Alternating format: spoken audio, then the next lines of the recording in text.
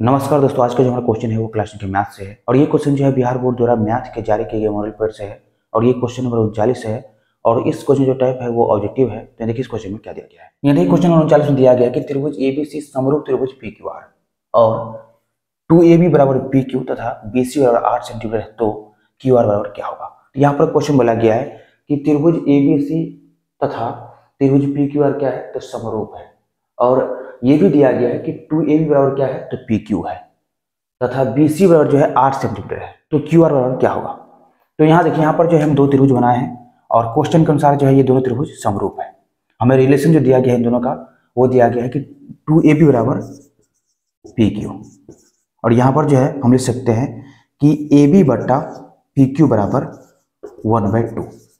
यहाँ देखिए, इसको जो इधर लाएँगे तो ए बी बटा पी क्यू और इस दो को जब इधर भेज देंगे तो वन बटा टू। अब देखिए हमें निकालना क्या है? तो हमें निकालना है क्यू आर अब देखिए, जैसे कि हम लोग जानते हैं कि ये दोनों त्रिभुज क्या है? समरूप है। तो ए बी बट्टा पी क्यू बराबर होगा बी सी बटा क्यू आर के और बराबर होगा ए सी बटा पी आर का।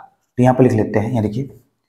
चूँकि त्रिभुज ए बी सी समरूप त्रिभुज पी क्यू आर इसीलिए ए बी बट्टा पी क्यू बराबर होगा बी सी बट्टा क्यू आर का और बराबर होगा ए सी बट्टा पी आर का। अब देखिए इसी के साथ जो है हमें बी सी और दिया गया कितना?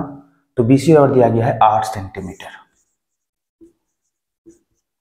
और जैसे कि हमें जो है बस इसी का काम है, क्योंकि हमें जो है क्यू आर निकालना है तो इसी का काम है तो इसको जो है नहीं लिखेंगे, क्योंकि ये तीनों बराबर है तो ये बराबर ये जो है हम लिख सकते हैं। तो यहाँ देखिए, अब ए बी बट्टा पी क्यू बराबर है बी सी बट्टा क्यू आर का, और हमें ए बी बटा पी क्यू दिया गया है वन बाई टू तो यहाँ पर लिखेंगे वन बाई टू बराबर बी सी दिया गया है आठ सेंटीमीटर तो यहाँ लिखेंगे आठ सेंटीमीटर बटा क्यू आर यहाँ देखिए, जब क्रॉस मल्टीप्लिकेशन करेंगे तो यहाँ देखिए क्यू आर लिखेंगे क्यू आर बराबर दो गुने आठ सेंटीमीटर दो गुने आठ सेंटीमीटर